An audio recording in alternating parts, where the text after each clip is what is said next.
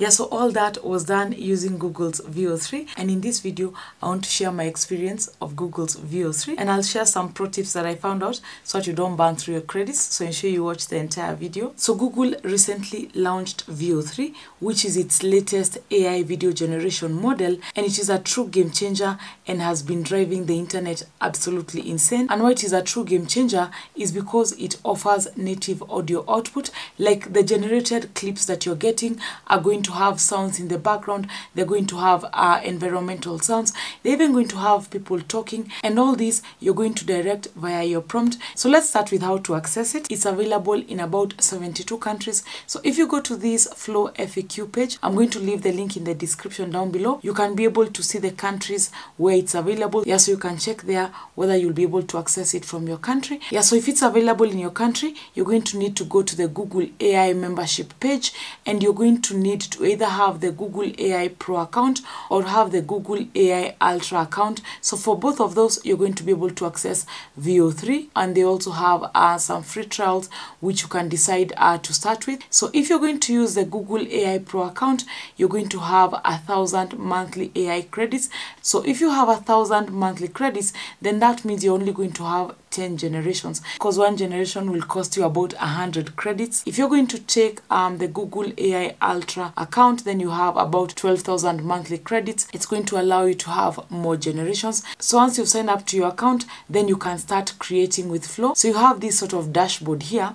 So when you want to start creating all you have to do is click on where it says new project. So that is going to allow you to start creating. You can create text to video so you can uh, put in your prompt and then you can get a video out of that. You can also create via frames to video. So that is maybe you have a starting frame and an ending frame and now you can just uh, maybe put in your prompt to have the transition for that and you also have ingredients to video. So the ingredients to video feature you can only access it if you're in the google ai ultra account. So to create using the text to video all you have to do is put in your prompt. And because we've talked about not burning through your credits you want to ensure that before you begin you know exactly what you want to create and also you're familiar with how to create prompts. So one resource that you can use to show you how to create your prompts is this article by google. So it is like the basics for writing prompts. Yeah so you can see the following elements should be included in your prompt. So we have subject context uh, action style camera motion composition ambience and we also have some examples of prompts and the generated output. So you can look at them. You have the man on the phone. So you have the prompt the generated output and the analysis. In the second example you can see that the prompt is a bit longer here and the output uh, also shows you a more detailed prompt result. Yeah so you can be able to see that with more details in your prompt then you're going to get better outputs. So now having this in mind what we want to have our prompting so i'm just going to copy this. I'm then going to go to ChatGPT to ask it to create the prompts for us. So I just copied this and then I went to ChatGPT and I told it I need you to create at least five Veo 3 prompts to create AI generated videos. The prompts should try to recreate the Bible story of Jonah being swallowed by the whale. So the prompts should create a scene at a time since the videos are 8 seconds uh, long. And then I also asked it to include audio sounds and then I pasted in what we've gotten from the Google article that the following elements should be included in our prompt and then I entered that yeah and you can see ChatGPT now gives me five prompts that I can use to create our videos with. So if I look at this first one, it says Jonah runs from God's command and we have the subject, the context, the action, just as we had directed it to do. And then we have the second prompt. This is the storm at sea. The third one, the fourth one, and the fifth one. So I'm going to copy this first prompt here and then I'm going to go back to flow and I'm going to paste it here in our prompt section. Yeah so ensure that you're in the text to video. And then very important you want to go to the settings here and you want to change the model to Veo 3 the highest quality. Now this is very important because if you don't do this it might default uh, to the older Veo 2 model. I also asked it to generate one output per prompt and then you can see it tells me that each generation is going to use 100 credits. So I entered that yeah and you can see it generating here. Yeah and about three minutes later we now have our video here. Let's have a look at it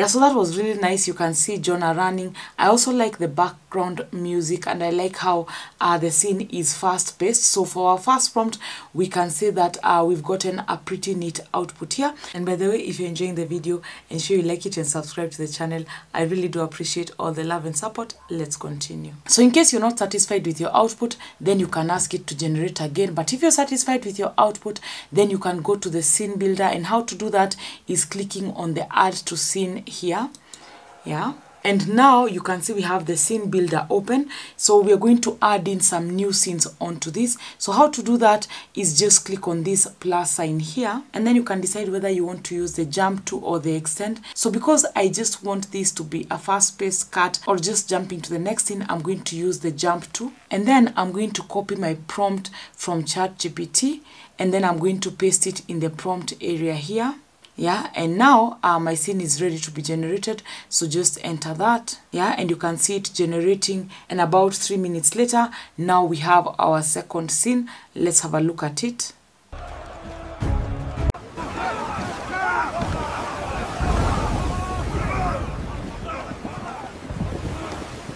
Yeah, so it's not uh, very clear, but I mean, it's AI, so I'm just going to go with this one here. But you can go back to your prompt and you can ask it to refine it more just so that you're able to get a better video from that. So now I can go to creating maybe a third scene for this using my third prompt. Yeah. But then now when I went to the third prompt, I realized that none of these prompts had um, any dialogue. So I decided to ask ChatGPT to modify the third prompt so that we have some dialogue in it, so that maybe our output can have some dialogue in it. So I asked it, could you have a dialogue scene in prompt 3? Okay, and you can see what it generated for me. Yes, you can see at some point we have Jonah speaking. He says, throw me over.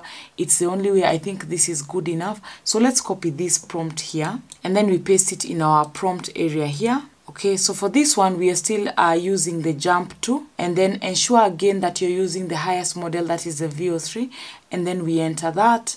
Yeah so again after about three minutes this is what we got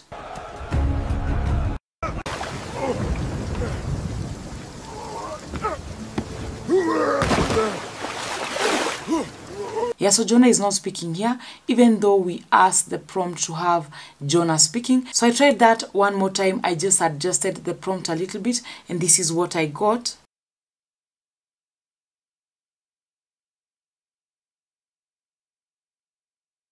Yeah so for that one there was completely no audio and then i tried it um a third time and this time i actually used extend just for it to maybe just extend the shot and then it told me that it was switching me to a compatible model for this feature and then it said submit again to confirm or check settings for details okay? So i went to the faq section and this is what it says. It says that note that Veo 3 is not yet compatible with fast plus last frame camera controls extend or ingredients to video capabilities so that would maybe uh, explain why when I tried the extend um, feature I was not able to get through. So I went back to the jump to feature and I generated the video. Yeah so again we can see that the gentleman is clearly speaking but then we did not get um, audio for that. So all in all I think uh, Veo 3 is pretty awesome. I think there's some real potential here. So once you're done generating then you can export each of the scenes separately yeah so even though the dialogue feature did not work in this particular example i had tried it earlier and this is what i got that was all made by AI, specifically Google's Veo 3, and I'll show you how. So that is Google's Veo 3. Let me know what you thought of it in the comments down below. If you want to learn how to create more videos using AI, ensure you watch the video on the screen and subscribe to the channel so that you don't miss out on more videos like this. My name is Peris and I'll catch you on the next one.